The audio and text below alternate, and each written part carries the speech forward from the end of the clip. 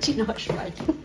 A Breakout Roomban minden héten közel megyünk valakihez, aki valamilyen szempontból eltér a fősodortól. Ennek az epizódnak a főszereplője az általa képviselt témának és missziónak köszönhetően más, mint a többség.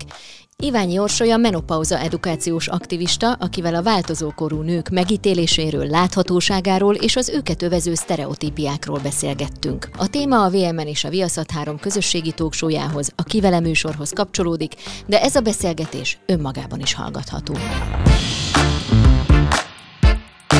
Azt szeretném mondani, hogy hőhullámmal kezdjük ezt a beszélgetést. Konkrétan az előbb indult, itt ahogy ide leültem, elhelyezkedtem, kicsit volt egy kis bevezető beszélgetés kamerán kívül, és éreztem, hogy Jön. begyújtották a...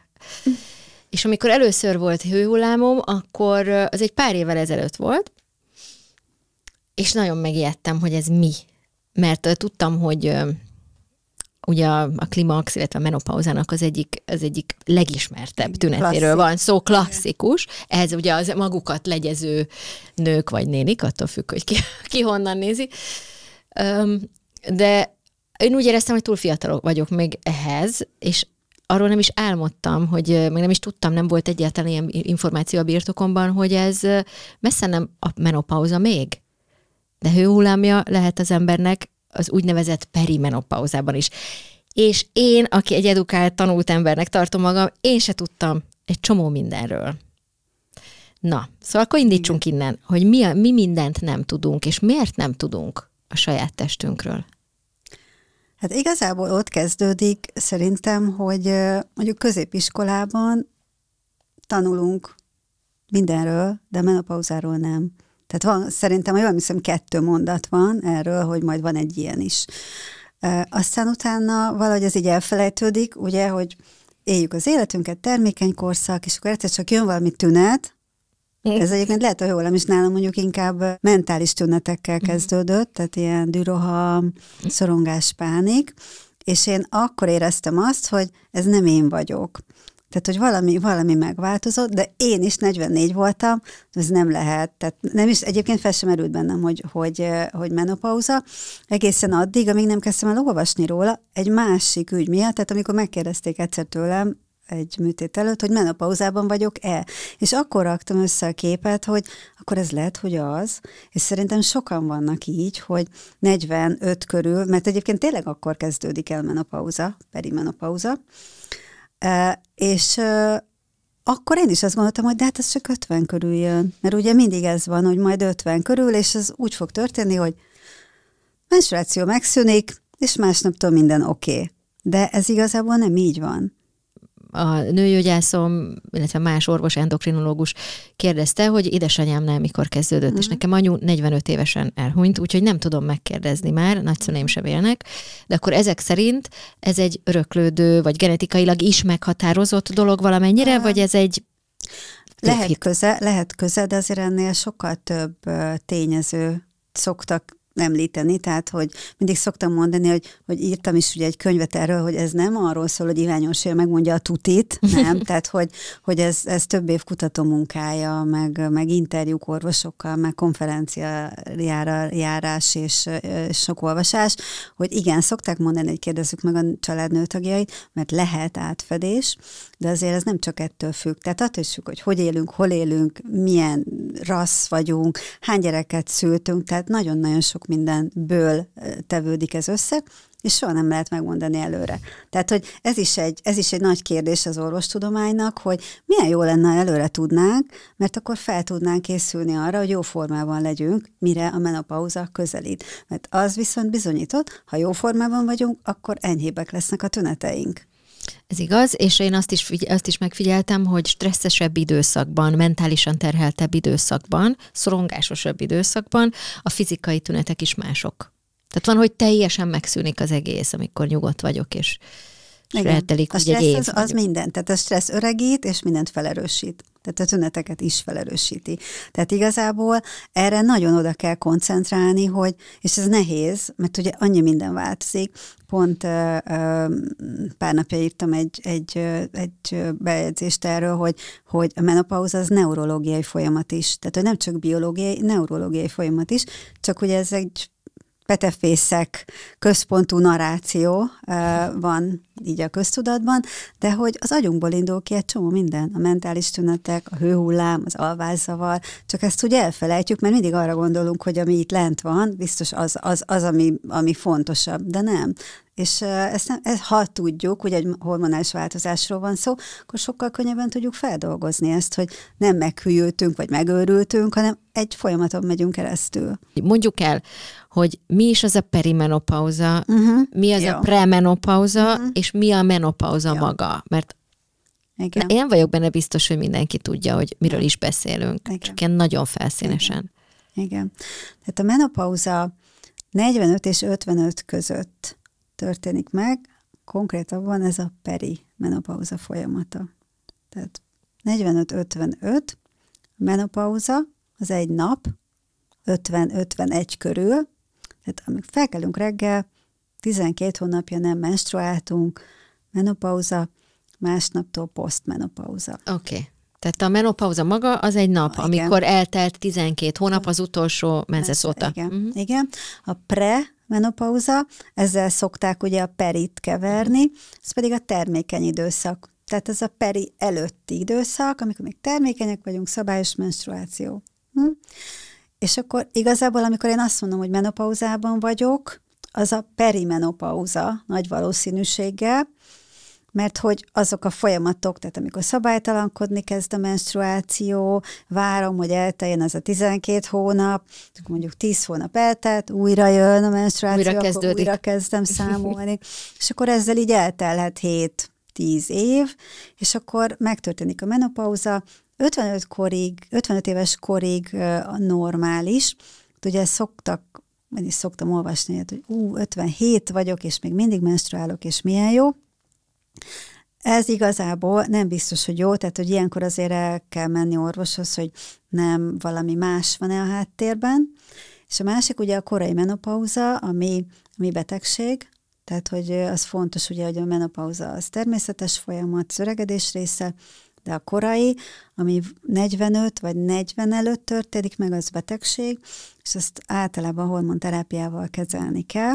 Mindjárt el fogunk itt merülni a részletekbe egy picit, főleg a, a ilyen sztereotipikusabb kérdések és mhm. hozzászólások formájában, de előbb hogy kérdezem már meg, hogy hogy lesz egy mérnökből aztán egy multinál dolgozó PR szakemberből menopauza aktivista. Most kiegészítettem menopauza edukációs aktivistával. Én kérek elnézést. Hogy, tehát, hogy kicsit így jobban rávilágítsak arra, ugye, hogy, hogy én nem vagyok, én nem diagnosztizálok, én nem adok tanácsokat, tehát hogy én edukálni szeretném az embereket.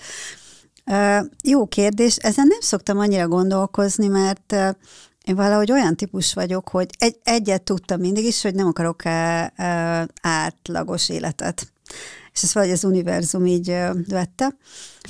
A másik, hogy én nagyon szerettem multinál is dolgozni, tehát én abszolút ilyen munkamániás voltam, és nagyon-nagyon szerettem. És amikor az utolsó ilyen múlt is állásom volt Londonban, ahol reklámügynökség 12 országért feleltem, kommunikációs terület, gondoltam, hogy innen feljebb már nem lesz, tehát hogy ezután nekem újra kell definiálnom magam, megtalálni magam, és akkor pont megismerkedtem a férjemmel, pont kiköltöztem Olaszországba. Ekkor voltál 40 körül, ugye? Igen, 40 uh-huh. évesen jöttem vissza Londonból, és 42 évesen költöztem ki, és gondoltam, hogy na, akkor majd biztos találok valamit, és igazából ez, hogy megkérdezték tőlem ugye a műtét előtt, hogy menopauzában vagyok-e, ez indította el a, ezt a folyamatot, és ez, ennek csak az az egy oka volt, hogy rettentően kíváncsi vagyok. Tehát azon felhúztam magam, hogy, hogy te is mondtad, hogy jól informáltnak szeretem gondolni magam, azt se tudtam, hogy mi az, menopauza, perimenopauza. Hmm, ezt ennek utána kell járni, és így jött ez az egész. Persze ez kellett az, hogy, hogy jöjjön a visszacsatolás. Tehát amikor elkezdtem róla írni. Igen, mert nagyon gyorsan megtalálta a közönségét Igen. ez a dolog, és abból is látszik, hogy most nagyon sok helyen lát, nyilván érzékeli az algoritmus, hogy én is 49 éves vagyok, ahogy te. Tehát az, így aztán oda dobja sokszor a, azokat a tartalmakat, amelyeket te vagy hozzád köthetően mások megosztanak. De hogy azért azt látni lehetett, hogy ez a közösség iszonyúan gyorsan elkezdett nőni. Nagyon sok nőt érint ez, nyilván, hát tulajdonképpen mindannyiunkat előbb-utóbb, jó esetben, ha megérjük, és, és ha egészségesek vagyunk, mert hogy ezt nagyon, sok, nagyon sokan nem tudatosítják, és ezt nekem is mindig mondanom kell magamnak, hogy ez egy egészséges, normális dolog, az lenne baj, hogyha ez nem így lenne. Igen. De, de most arra visszatérve, hogy a közösség, hogy iszonyú nagy igény volt arra, hogy erről beszéljünk. De akkor miért hallgattunk ennyi ideig? Hát ennek több oka van. Az egyik ugye az, hogy miért kezdtünk el egyébként most ennyire erről beszélni, annak az egyik oka az internet. Uh-huh. Tehát, hogy ugye gyorsabban megy az információromlás. Kettő, hogy elkezdtek róla külföldön főleg, először, 5-6 évvel ezelőtt, ugye celebritik beszélni erről, orvosok is, aztán, ne, aztán a másik az, hogy elkezdtünk tovább élni. Tehát, hogyha meghalnánk, mondjuk, mint száz évvel ezelőtt, 55-60 évesen, és mondjuk 5 évet töltenénk menopauzában, akkor azt gondolnánk, hogy ez valami halál előtti szenvelgés még, mindegy is, de most igazából, ha elkezdődik a menopauza 45 körül, és mondjuk 80 évesen halunk meg, akkor ez 40-45 évet ebben az állapotban töltünk. És ugye majd nyilván arról beszélünk, hogy milyen folyamatok zajlanak. Tehát ez a másik. A harmadik pedig, hogy, hogy ugye az előző generációk valóban csendben, otthon szenvedve élték meg ezt, mert hogy ez egy azért sok olyan tünet van, amiről kellemetlen beszélni. Tehát az, hogy hüvelyszárasság, alacsony libidó, vagy ugye egy csomó ilyen láthatatlan tünet van, amit úgy szegény nők itt cipelnek magukkal, és nem beszélnek róla, ez is ugye elkezdett felszínre jönni, hogy de nekünk igenis kell támogatás, igenis kell gyógyszer, vagy igenis mondja meg valaki, hogy ezekkel mit lehet kezdeni, mert az életminőséget befolyásolják. De hogyha Márjunk ki is gyűjtöttem ide néhány ö, ilyen eufemizáló, vagy ilyen-olyan becélző kifejezést a magára a menstruációra, tehát hogyha belegondolsz abba, hogy na, lá, mint látod, van jó néhány, és nem tudom, hogy ide raktam. Szóval, hogyha belegondolsz abban, hogy már magáról a vérzésről is milyen nehezen beszélünk, már az első vérzésről, Igen. hogy hogyan reagál a környezetünk, vagy mi magunk arra, hogy megjött az első vérzésünk, hogy már arra is vesz mondjuk, hogy nagy lány lettem. Aztán a menstruációra magára most tényleg azok a napok, piros betűs ünnepek, megjött a Mikulás, olyan napok, nehéz napok, mensi, havi baj, havi hiszti, és még lehetne folytatni. Szóval körüljárjuk, így, így, így próbáljuk így távolról szemlélni ezt, miközben ez a részünk, bennünk van, és a többi, és a többi. Szóval, hogy valamiért ez a nők és az ő vérük, az egy, az egy ilyen nagyon félelmetes dolog nekünk a kommunikációs térben. Igen. Miért? És uh, ugye itt a menopauzánál még az is bejön, és ez egyébként nagyon érdekes, hogy, hogy még azok is, akik mondjuk egész életükben fájdalmas menstruáció, vagy kellemetlen menstruációjuk volt, és akkor bejön annak a gondolata, hogy ez elmúlhat, akkor hirtelen elkezdenek ragaszkodni hozzá. Tehát nekem többször, tehát többször, nagyon sok levelet kapok, de többször van olyan, hogy mondjam meg, hogy hogy lehetne az, hogy ő élete végéig menstruáljon. Mert neki ez a nőiesség része. És hogyha ezt elveszik, akkor nem, nem lehet tudni, hogy mi lesz. És akkor ugye bejön itt az, hogy, hogy akkor el kell neki mondani, hogy figyelj, tehát hogy egy nő nem csak azért nő, mert menstruál, hanem ott még van egy csomó más dolog is, tehát hogy mitől, mitől vagy te nő. És akkor ugye, hogy mennyire vagy okos, vagy mennyire vagy szép, vagy mennyire vagy kedves, tehát kinek mi. Tehát, hogy van egy csomó attribútuma még a nőnek, amitől ő nő lesz. De van akinél ez nagyon erős. Vagy ugye az anyaság. Tehát, hogyha valaki anyaszerepben töltötte az életét, életének nagy részét, bejön a menopauza, és azért nem sokan akarnak 50 felett szülni, de mégis azt mondja, hogy ú, ezt elveszik tőlem ezt is. És most én mi leszek, ha, ha már ez az anya szerep nincsen? Persze nyilván mindenki anya marad, aki egyszer anya volt. Tehát, hogy nagyon sok mondjam, rétege van ennek a menstruáció, nem menstruáció, milyen szerepben leszek én utána, ha ez már nincsen. De van, akit meg egyáltalán nem érdekel.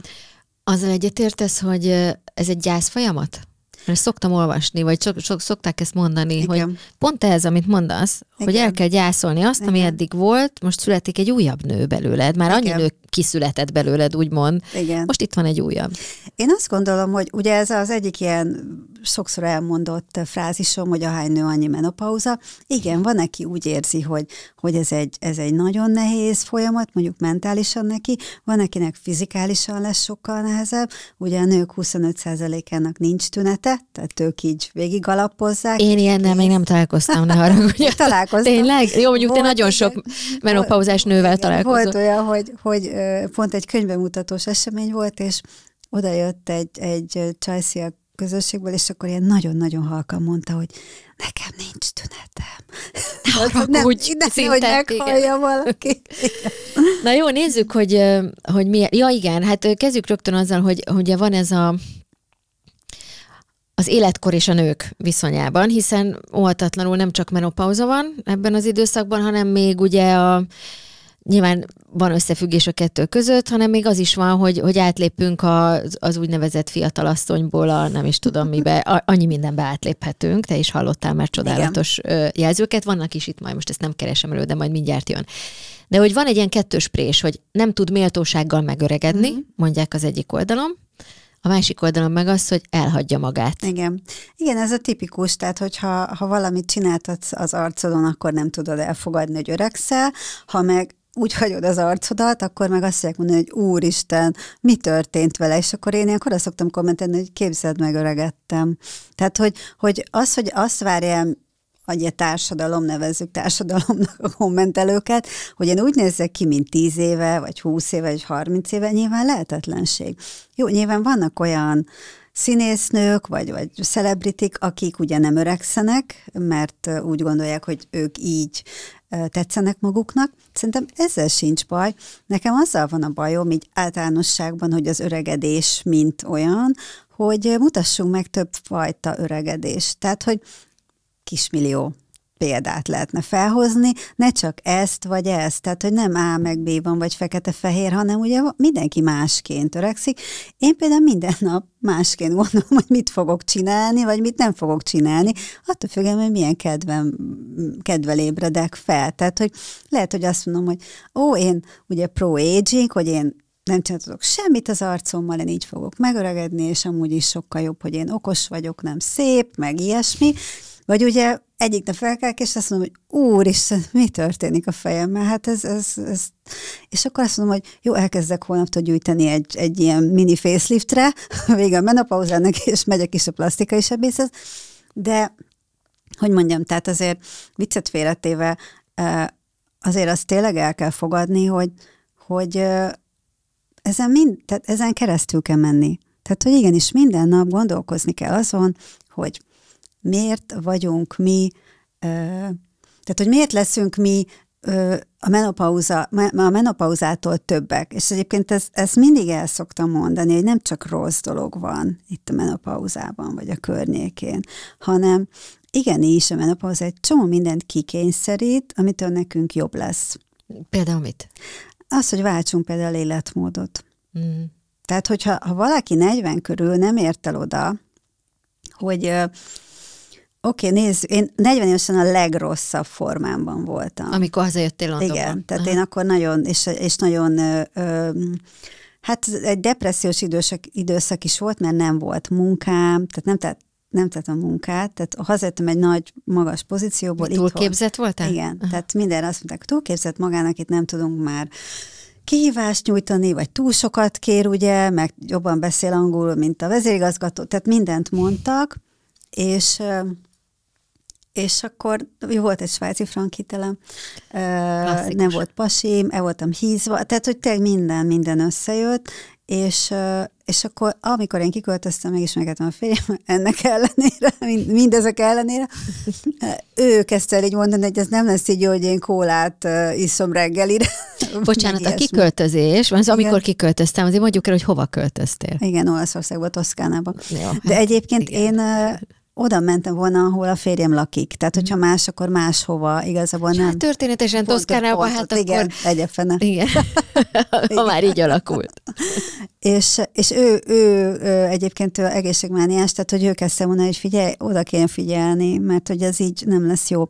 És aztán tényleg jó pár év betelt nekem is, hogy ha ezt nekem megmondja, akkor valaki 40 előtt, jaj, hogy hogy figyelj, ez egy ilyen elég fontos dolog lesz, akkor, akkor e, jobban figyelek magamra. Ja, mert hogy azért rendesen, tehát hogy alkohol, cigaretta, tehát hogy építettem le magam rendesen, és, és ez egy jó 5-6 éves folyamat volt, mire, mire eljutottam oda, hogy, hogy összeszedjem magam úgy, hogy, hogy most ez van, és így vagyok, és akkor ugye az, hogy 50 leszek augusztusban, az megint egy jó, hogy mondjam, mérföldkő lesz, hogy ő akkor hogyan tovább. És, és menopauzának ez az egyik része, tehát hogy az egészség. Másik része, ez most lehet, hogy egy kicsit ilyen magasztos lesz, vagy drámai, hogy, hogy találjuk meg a helyünket a világban. Most lehet, hogy ez ilyen távolinak tűnik onnan, hogy ez egy biológiai folyamat, de hogy én második felnőtt kornak hívom. Tehát, hogy több felnőtt korunk van, több karrierünk lehet, több párunk lehet, több, tehát nagyon sok dolog lehet még az életben, ha úgy gondolunk rá, hogy ez egy lehetőség. Tehát nem egy lejtő, meg nem egy B oldal. Egyébként nyilván sokat segít az, hogy, hogy a férjem jóval öregebb, és én látom a közelről ugye az, az, az, az öregedésnek uh-huh. a mhm. mindenféle dolgait. Ezt mit jelent, hogy jó, jóval öregebb? Hát 31 évvel idősebb. Ha este vagy most, akkor ő 80. 80. Most Aha. Tavaly szeptemberben 80. De igen. akkor, hogyha őt érdekli az egészség, meg a, Abszolút, az életmód, akkor ő jól, vannak, néz ki körülbelül. úgymond jól tartja mhm. magát, amit mi is igen, nagyon szeretünk igen, hallani, legalábbis igen. én imádom, korához képest jól néz ki. Igen, igen. ami sose volt bók. Sose, igen. igen. Ha férfi, ha nő igen, kapja. Igen, igen. Mm. úgyhogy én sokat tanulok tőle, hogy hogyan, hogyan érdemes öregedni.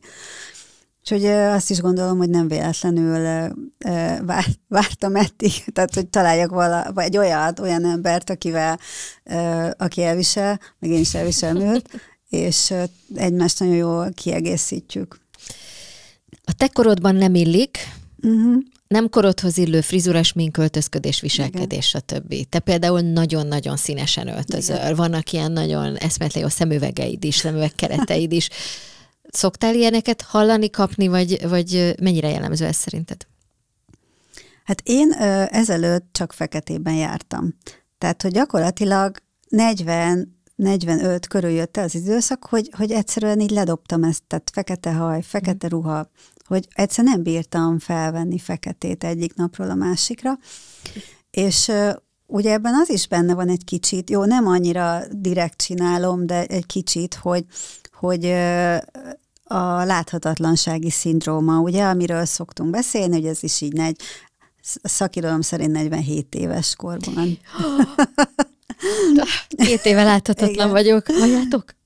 Szóval, hogy, hogy ez is így, és ugye itt most nem csak arról beszélünk, hogy, hogy a nem fütyülnek az ember után a munkások az utcán, vagy, vagy előbb szolgálják ki a fiatal lányokat a, nem tudom, a bárban, hanem, hanem a reklámokban kevesebb a 40-50 feletti nő, vagy nem veszik fel a nőket, ugye, tehát álláskeresés kapcsán is nehezülnek a tényezők, és és azért sokszor rajtunk múlik, hogy láthatóak vagyunk-e vagy sem. És azt most nem csak a ruhára értem.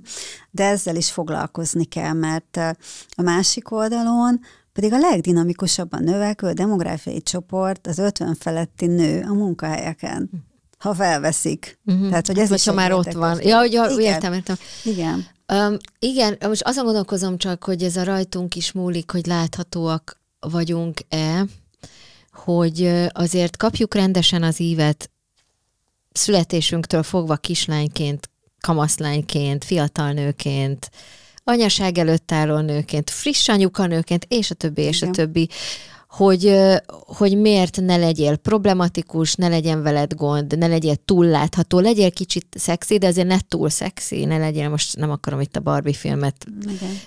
behozni, ami persze egy kétséges kulturális utalás, de mégiscsak azért tényleg van egy ilyen kettősség, amit fel itt kezdtem is, hogy oké, okay, csak nem biztos, hogy, tehát, hogy sok ö, nő számára ez nem egy könnyen megugorható dolog. Tudod, hogy, hogy leveszem a feketét, Igen. és elkezdek Igen. paradicsom-madárként De nem is kell, tehát nem is kell. Tehát én is úgy, úgy gondolom, hogy, hogy egy klasszikus, tudod, van, aki, van akinek egy, egy fehér póló farmer is, is elég. Tehát, hogy De, de hogy, hogy meg, kell találni, meg kell találni ezt is, hogy, hogy azért néha végignézek én is, mondjuk az utcán megyek, hogy, hogy fekete, szürke, barna, tehát hogy így, így nem, nem, nem, nem látom. De például tegnap a reptéren mentem be, és ott lett egy nő, egy ilyen tök jó kockás kabát volt rajta, és akkor így mondtam neki, hogy I like your coat. És ő egyből visszaszólt, I like yours.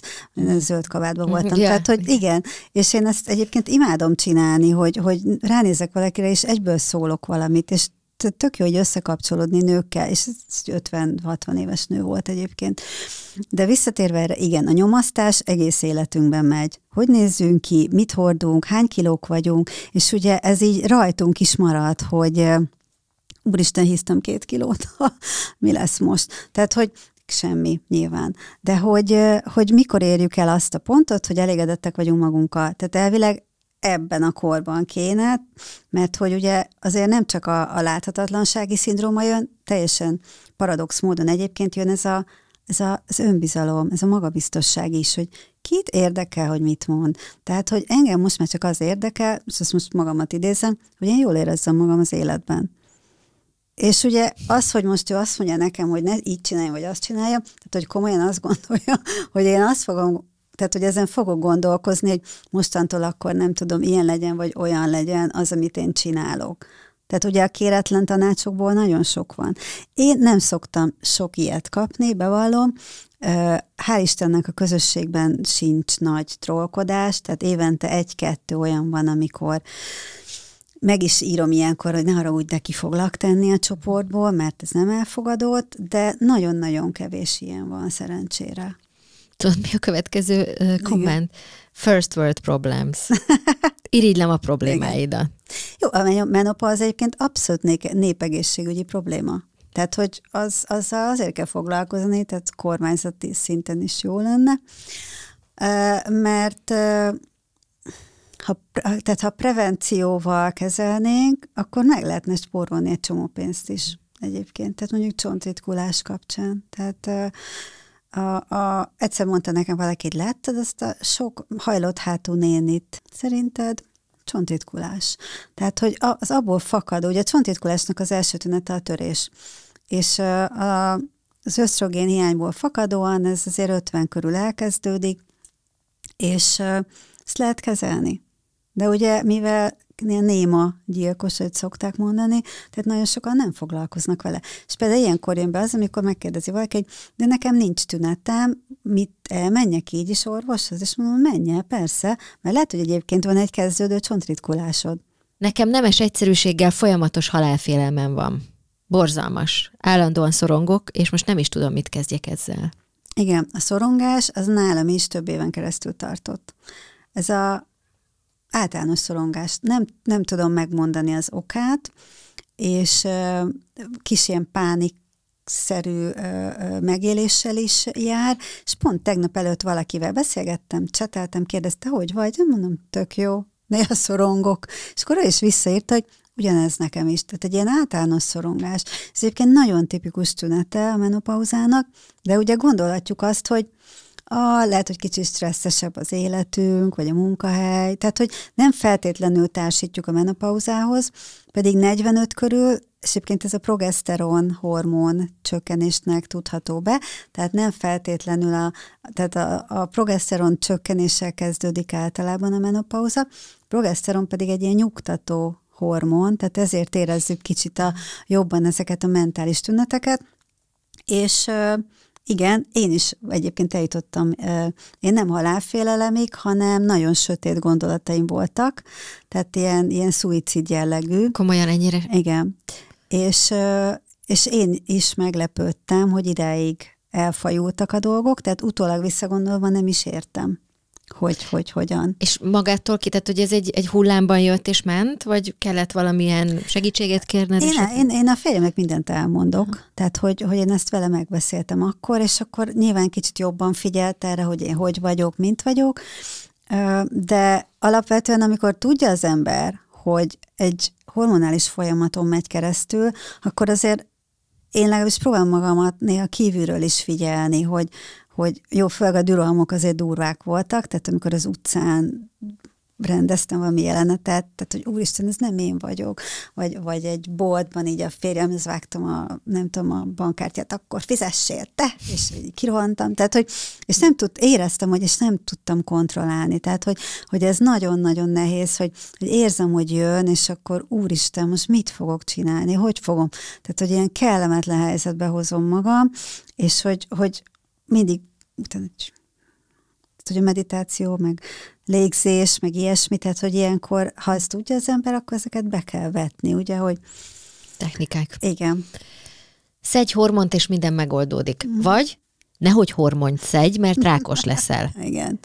Uh, Elmondjam most a hormont? Mondd el a hormont, ja. mert most úgyis a hormonális folyamatokban Igen. mentünk az előbb. Szóval hormon... Erről is nagyon keveset tudunk. Igen azt, hogy ösztrogén meg progeszteron, ezt már hallotta sok ember, de azt, hogy mi is történik, és hogy mi ez, a, ez a, az egyensúly mit jelent Igen. a testünkben, azt nem tudjuk. Um, ugye, hogy a hormonterápia merrákot okoz, ez, ez gyakorlatilag mindenkinek ez éget be a, a fejébe valamiért, az orvosoknak is.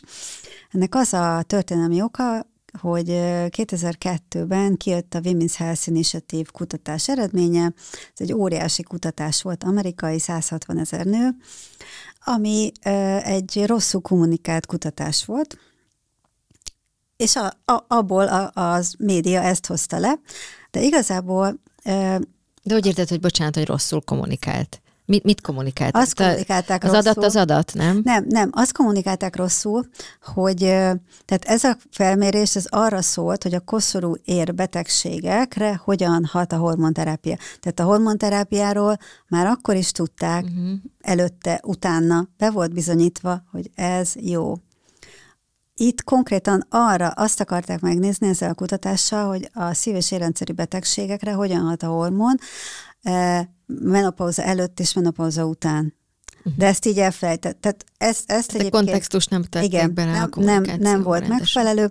Utána egyébként megszületett a helyreigazítás, csak ez már nem ment uh-huh. át. Most ennek van egy csomó vetülete, hogy az átlag életkor 50 és 79 év volt ebben a 160 ezer nő, női kutatásban. Hormont gyakorlatilag 50 körül kezd el szedni az ember, tehát itt az átlag életkor 63 volt, mm. 60 fele már nem nagyon írnak fel hormon. Milyen hormont szedtek ezek a nők, amit mi már nem igazán szedünk. Tehát ez egy ilyen régi típusú hormon.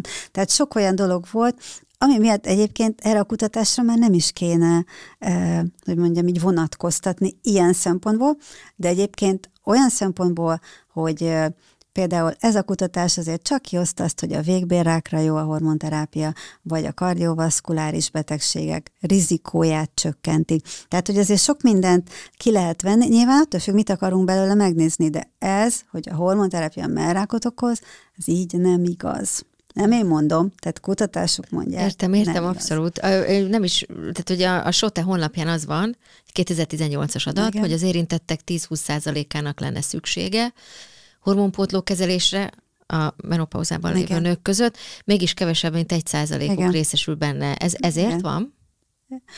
Vagy um, főleg, mert hogy nagyon erősen tartja magát ez a hit, hogy a hormonterápia nem feltétlenül jó mindenkinek, vagy nem, nem jó, Nekem az a tapasztalatom, hogy az endokrinológusom és a nőgyógyászom két teljesen más állásponton van. Tehát a, az endo azt mondja, hogy ne, ha nem muszáj, akkor inkább ne.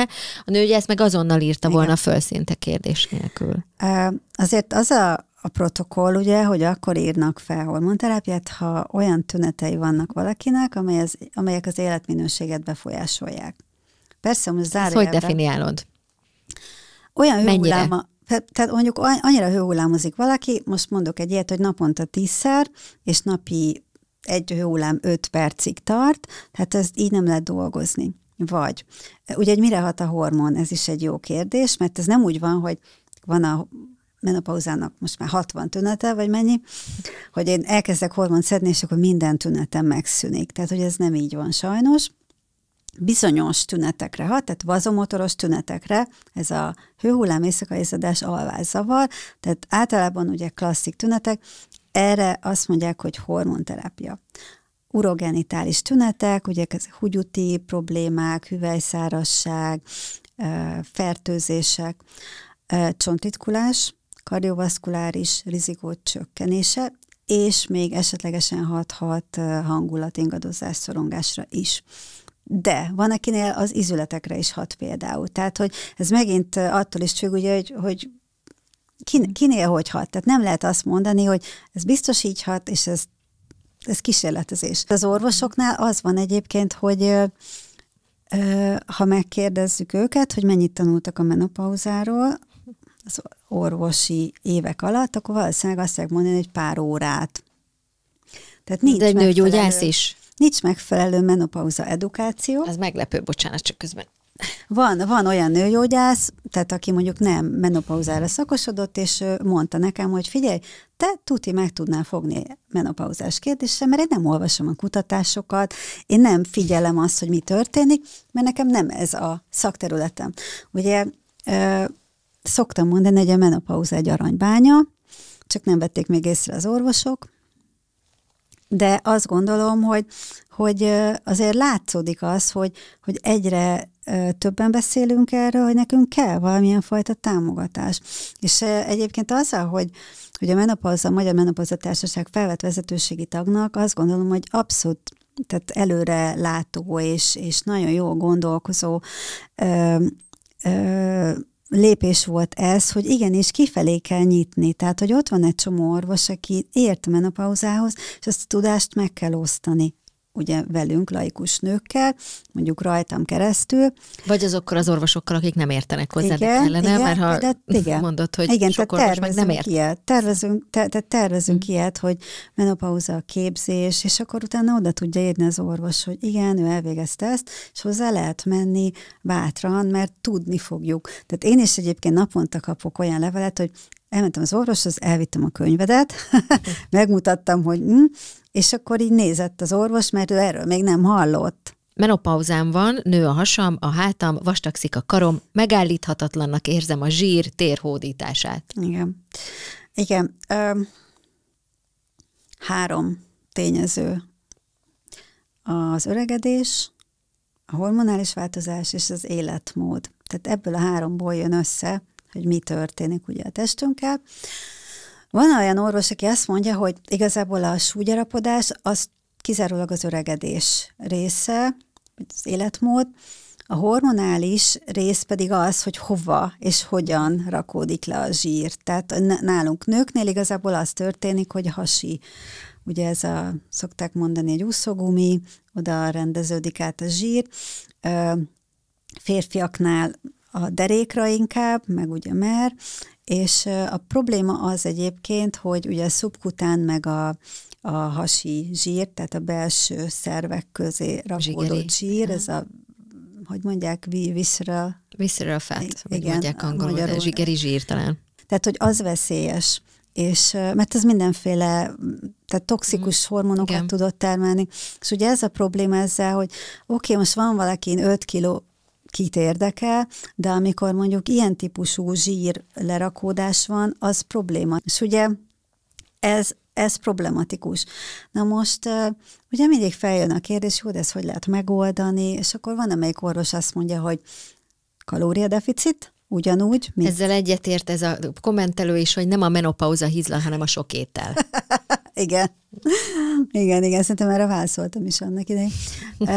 hogy lehet egyébként éhezni, meg keveset enni, de attól nem fogunk lefogyni sajnos, tehát tényleg megváltozik, ugye a, lelassul a metabolizmus, Ugye itt a probléma az is, hogy az izom csökken, ugye minél kevesebb izmunk van, az izom kell ahhoz, hogy rendesen égjen a zsír, tehát hogy ez egy, ez egy igen összetett folyamat, én is látom magamon, tehát én mondjuk magamtól fogytam le, jó kis segítséggel a végén 13 kilót, több évbe telt. Tehát, hogyha az a baj, hogyha egyszer elhagyja magát az ember, utána sokkal nehezebb. Tehát ezért szoktam mondani, hogy egyes számú szóban ne hagyjuk el magunkat. Mm. Tehát, hogy ez tényleg fontos. Na, ez is vénségére hűl meg. hát szerintem egyébként kicsit mindenki meghűl vénségére, de engem mondjuk annyira nem, nem érdekel ez, mert uh, én, én mindig, tehát hogy én kicsit mindig is olyan voltam, hogy, hogy egyrészt, hogy soha nem érdekelt mások véleménye. Tehát nálam ez már régóta megvan. És és utólag éreztem ezt, hogy de nem is értem, miről beszélnek az emberek, én mindig ilyen voltam. És ezért nem is érdekel ez, hogy mondjuk én meghűltem-e vagy sem, de ö, már, attól függ egyébként tényleg mennyire hűl meg az ember. De... Meg nem lehet az, hogy amikor az ember elér 45-50 körüli életkorában, akkor, akkor azért megérkezik. Tehát, hogy tudja, hogy ki ő, hol vannak a határai jó esetben. Ezeket a határokat meg tudja tartani, illetve legalábbis megpróbálja, meg úgy, úgy, úgy kiteljesedik, és önazonosabbá válik talán. És ezt, ezt van, hogy úgy, úgy értékeli a külvilág, hogy meg vagy hűlve, hogy ez most miért nem akarsz megfelelni nekem? Na, ez így van, ez így van.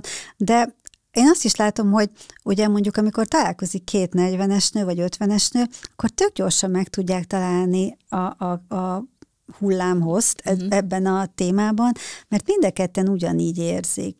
És, és ezért is ugye kitaláltam magamnak ezt a menopauza összeköt hashtaget, mert jó, nyilván velem öt perc után mindenki a menopauzáról kezd beszélni, de, de hogy úgy általánosságban is például, az, az nekem egy elképesztő nagy ö, ö, felfedezés volt, hogy amikor először csináltam ilyen menopauza kávé eseményt, nem is tudom, hogy képzeltem, hogy, hogy ilyet csinálok, hogy, hogy húsz nőt odahívtam, tök ismert, tehát nem ismerték egymást, és hogy üljünk le és beszélgessünk a menopauzáról. Mindenki mondja, hogy milyen tünete van. És képzeld el, hogy oda jöttek, leültünk, és mindenki elmondta, és, és hogy így a flót éreztem. Mm. És utána egy, tehát hogy elkezdték egymás telefonszámait, és barátnők lettek, tehát hogy mennyire és egy menopauza, tehát egy menopauzáról beszélünk, ahogy a legkellemetlenebb, a legintimebb tüneteket elmondják. Vadidegenek, jó, tudom, néha a vadidegennek könnyebb elmondani, mint a... Hm? De hogy, hogy utólag gondoltam arra, hogy micsoda bátorság kellett uh-huh. ehhez. Nőnek érzed még magad? kérdezik a kommentmezőben, nem, mert én tudom, látom, hogy nőnek érzed magad, de hogy ezt azért megkapja az ember, nem? Amikor így elmarad a de, utolsó érzés. De, de képzeld el, hogy van, aki... van egy amerikai, vagyis meghalt sajnos már, egy amerikai újságírónő úgy hívják, hogy Gail Sheehy. És ő írta azt a könyvet, hogy The Silent Passage, magyarra úgy lett lefordítva, hogy őszintén a klimaxról. Amit a jó kis magyar filmcímek, igen. igen. És ő mondta azt, hogy hogy tehát, hogy nem, nem kell állandóan nemiséggel foglalkozni. Tehát, hogy a menopauza meghozhat egy olyan másfajta életminőséget, ahol nem az számít, hogy te szexuális lény voltál, vagy vagy. Tehát, hogy a nemiségen túllépve egy ilyen új egyensúlyt találjon az ember, hogy most már csak egy ember. Most idézően mondom, hogy csak egy ember, és nem, nem a hormonjai határozzák meg az életét. Csodálatosan felvezetted a következő kérdést. Szexelsz még egyáltalán? A menopauza tönkretette a libidódat? Vagy hormonokat kell szedne, szedned, hogy kívánd a szexet? Uh-huh. Ezeket, ez, ezt egy csokorban gyűjtöttem. Igen. Ö, kedvenc témám. Ma egyébként szexshop látogatásra megyünk. Megyünk? Mi, a, a Csoport, csoporttagokkal, igen. Uh-huh. Uh, igen, a nők fele tapasztal alacsony libidót egy menopauza kapcsán, de nem csak a menopauzában lévő nők kiváltsága ugye az alacsony libidó, tehát ez, ez máskor is előjöhet, de valóban, tehát ugye az ösztrogén hiányból fakadóan ugye a női vágy az, az viszonylag összetett, tehát nem csak a vérbőség a lényeg, hanem az agyi folyamatok is szerepet játszanak, és ugye ösztrogén receptor mindenhol van, az agyban is. Tehát két, két csoportra szoktam ilyenkor ö, osztani itt a tüneteket. Az egyik a, a, ez a GSM szindróma, ez a húgyuti problémák, hüvelyszárasság, az ebből fakadó diszkomfort érzet, fájdalmas közösülés, behatolás, másik pedig az alacsony libidó. Ugye a kettő össze is függhet. Tehát ugye az alacsony libidó abból is következhet, hogy valakinek fájdalmas a szex, és így elfejt a szexre gondolni, mert nem akar vele foglalkozni. Na most egy férfi elmegy alacsony libidó, vagy erekciós problémával ugye az orvoshoz, ott vannak megoldások. Tehát most nyilván mit, mit szeretne, mit írjak fel, tehát több, több dologból is, igen, több dologból Go. is választhat. Uh-huh. a nőknek ilyen nincsen.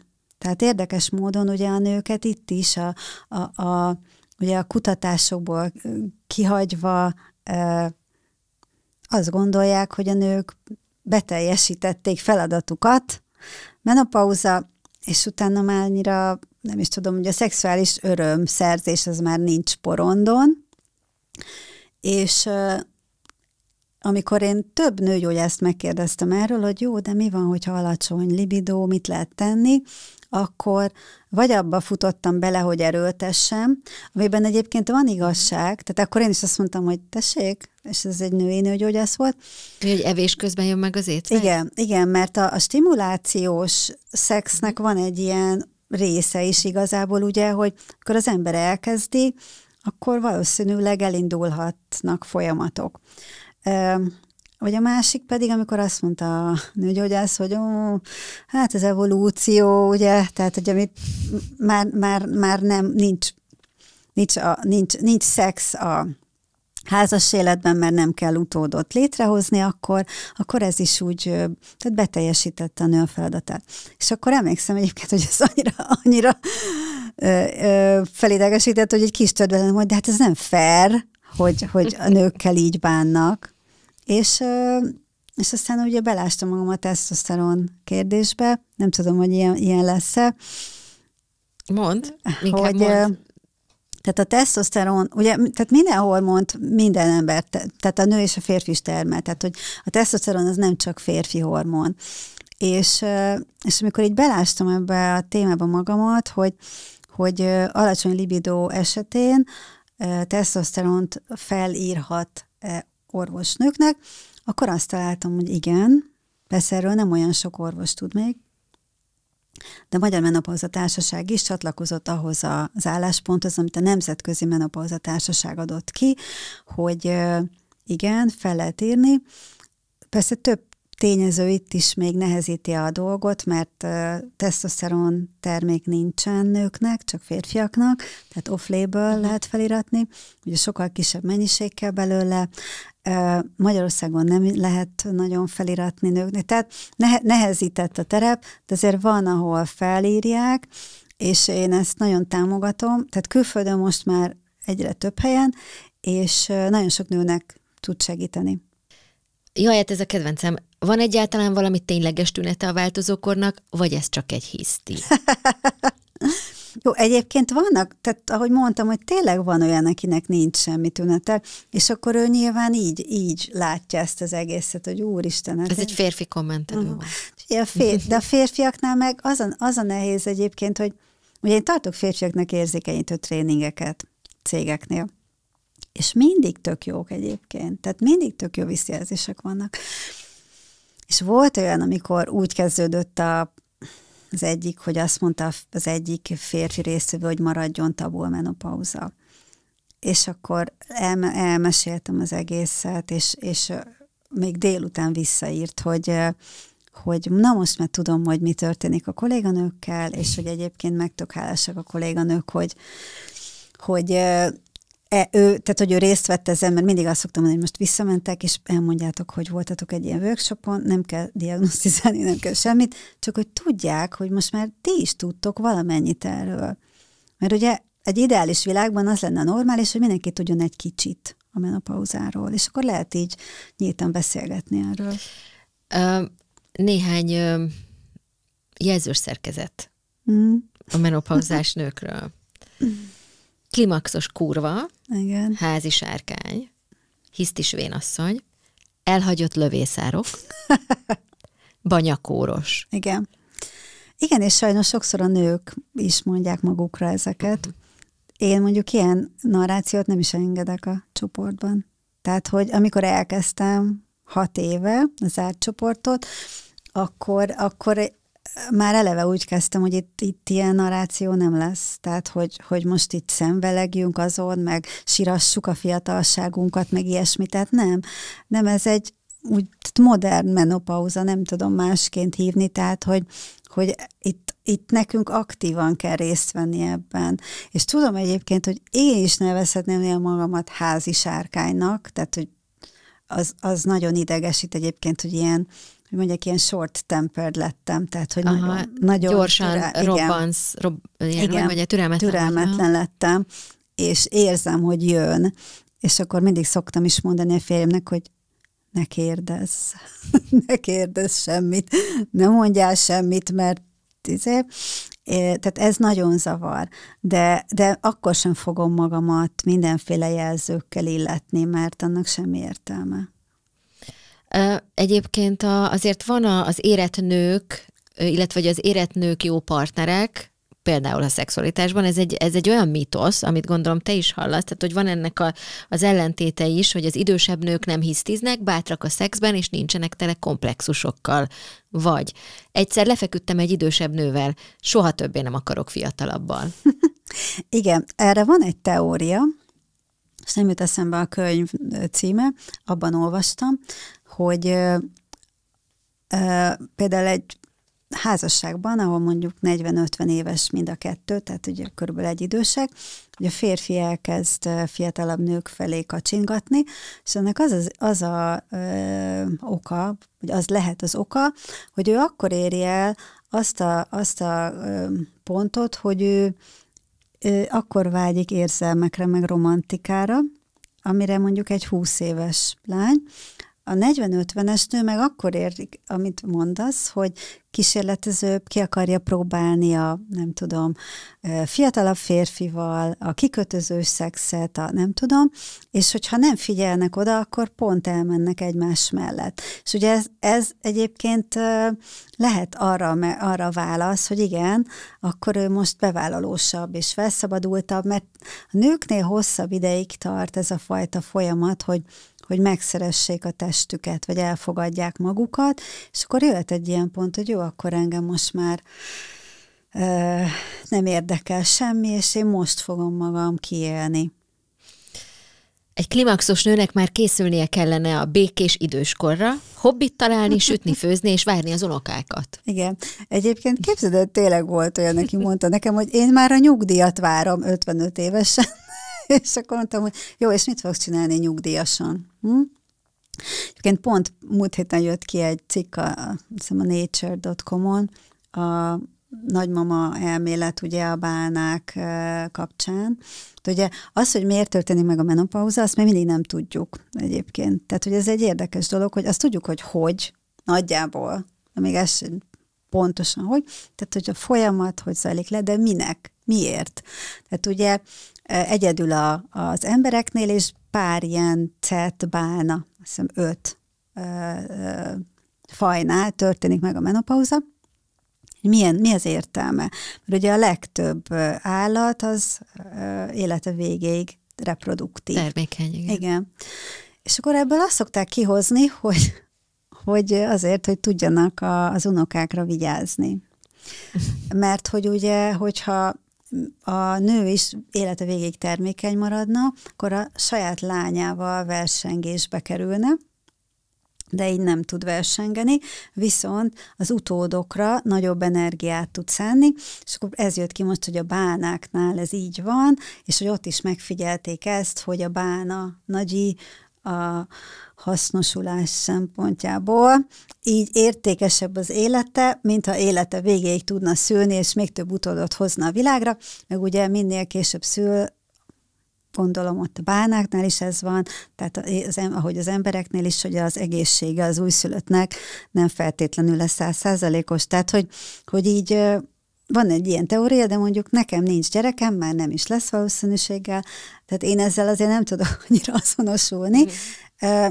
Úgyhogy inkább arra szoktam koncentrálni, hogy amit az előbb mondtam, tehát ez a második felnőttkor, hogy én pontosan azt érzem, amit egyébként amerikai feministák is kihoztak már 30-40 évvel ezelőtt, hogy, hogy elindul egy, egy ilyen kreativitási folyamat az emberben. Tehát, hogy, hogy felszabadul, elkezd azon gondolkozni, hogy hogyan valósítsa meg magát, mit nem csinált még, meg mihez van kedve.